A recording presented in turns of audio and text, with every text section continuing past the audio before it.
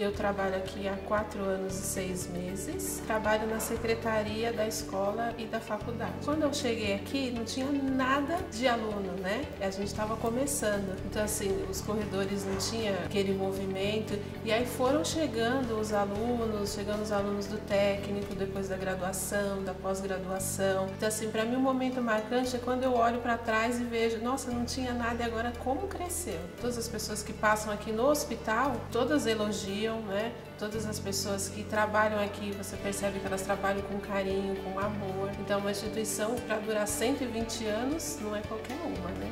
Dedicação.